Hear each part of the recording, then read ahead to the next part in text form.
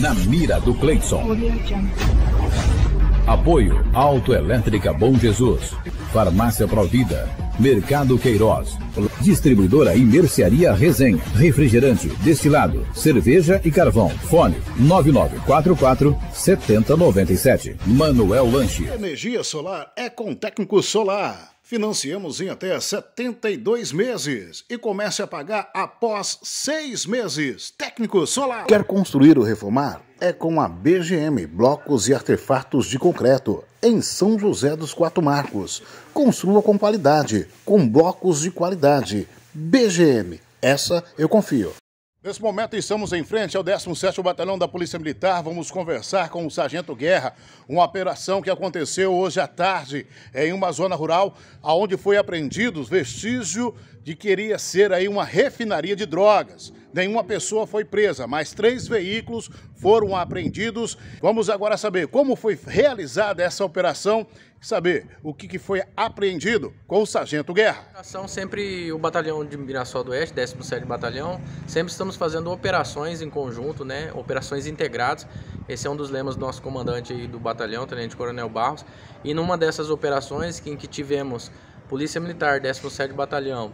Nós tivemos o pessoal da Polícia Judiciária Civil, né, parceiro da gente. Também o pessoal do GEFRON, Grupamento Especial de Fronteira, e o pessoal do BOP, né, a, a turma do BOP, Batalhão de Operações Especiais da Polícia Militar de Mato Grosso.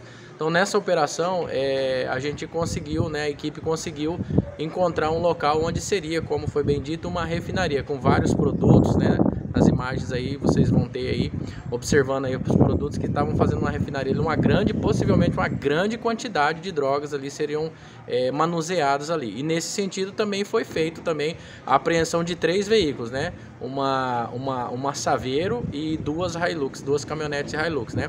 É possível ainda que a operação ainda está em andamento, né? E é possível também que haja também a recuperação talvez de mais um veículo, mas ainda a operação está continuando e é isso que a gente tem por enquanto que tem acontecido na data de hoje. Essas duas caminhonetes, essa Saveiro, ela tem procedência ou não, sargento? Os veículos, a princípio, são veículos com adulteração, né? Então, princípios que é, coisas irregulares e listas aqui. Então, a, foi encaminhado já, inclusive, está sendo feito o boletim de ocorrência, encaminhado para a Polícia Civil para poder começar as investigações. Por quê, Cleiton? Porque no local nós não encontramos ninguém. O pessoal provavelmente, na hora de sabendo que estava na operação, evadiram-se do local. E o local é aqui em Mirassol do Oeste, numa zona rural aqui da, da área de Mirassol do Oeste.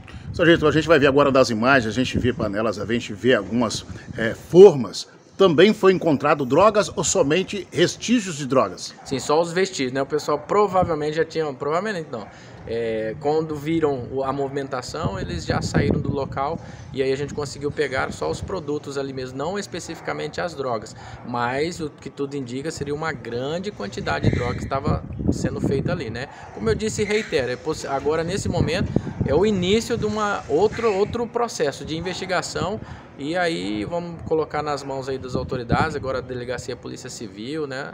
É, vão fazer um trabalho de investigação e vamos ver daqui para frente o que vai acontecer. Sargento, algo mais informar a sociedade de Mirassol do Oeste e toda a nossa região? Não só agradecer né, pelo espaço aí, passar essas informações para a população e no que nos compete aí na nossa região de fronteira, na área do 17º Batalhão, que são 11 cidades, né, que for a questão de segurança pública, com certeza que a Polícia Militar vocês podem confiar, né, servindo e protegendo sempre.